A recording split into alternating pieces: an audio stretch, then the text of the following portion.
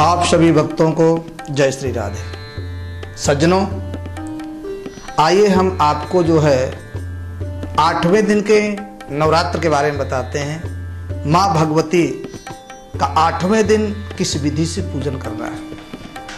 तो सज्जनों, आप देखते रहिए असल आस्था के माध्यम से हम आपको बताने जा रहे हैं। आठवां जो नवरात्र है, महागौरी का है।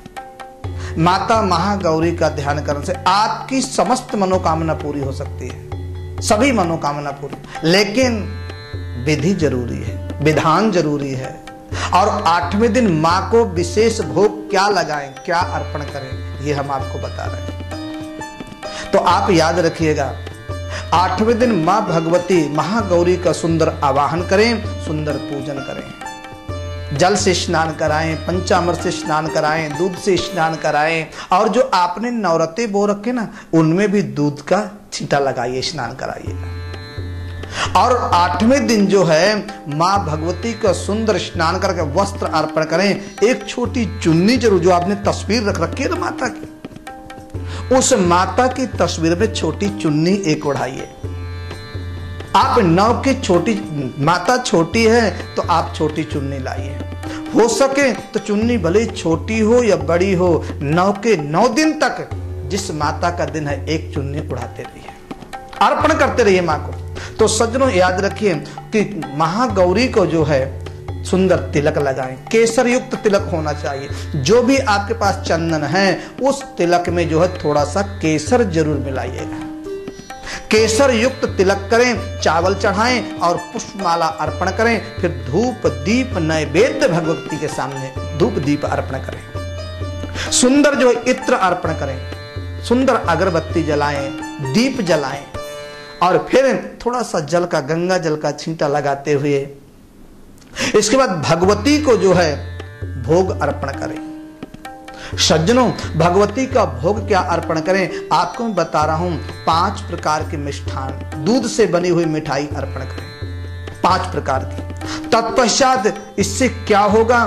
पाँच प्रकार के विष्ठान अर्पण करें और पाँच प्रकार के फल अर्पण करें और उस फल में भी एक नारियल का फल होना चाहिए।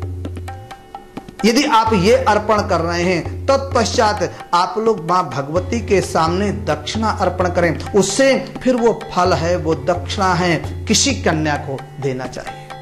इससे क्या होगा? यदि आपके यहाँ संतान में रुकावट है, संतति में बढ़ोतरी नहीं है, संतान नहीं होती है, संतान में विविधान आ रहा है तो आपको इस विधि से पूजन कराइएगा।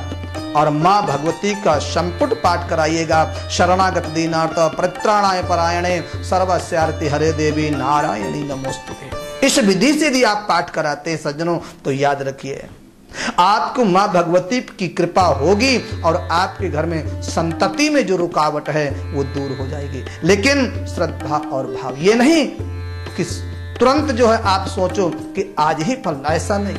इस विधि से यदि आप पूजन करते रहोगे तो एक माह एक दिन भगवती की कृपा होगी और आपके यहाँ घर में जो संतान की दिक्कत है, वो पूरी हो जाएगी, सफलता प्राप्त हो जाएगी। इस विधि से और फिर जो है, सुंदर एक कन्या का पूजन करके और कन्या का पूजन करके वो जो फल, मिष्ठान, दक्षिणा किसी कन्या को आप दे दीजिए। कोई कन्या हो, छोटी कन्या हो, उसको प्रदान और उसके चरण धोइएगा। चरण धो करके वो जल का छींटा लगाइएगा और उसको कन्या को तिलक करके, केसर युक्त तिलक करके दक्षिणा और मिष्ठान फल उसको दे दीजिएगा। और भगवती का जो है, सामने बैठ करके आप ग्यारह जो है, ग्यारह बार जो है माँ भगवती के जो है दुर्गा चालीसा का पाठ कर लीजिएगा। सज्जनों, यदि इस विधि से आप माँ भगवती की पूजा करते हैं, माँ भगवती की सेवा करते हैं, ज़रूर माँ भगवती की कृपा तुम पर होगी और तुम्हारे यहाँ संतान की प्राप्ति होगी और माँ शेरा वाली ज़रूर कृपा करेगी। जय माँ शेरा वाली। जय श्री राधे, जय श्री कृष्ण।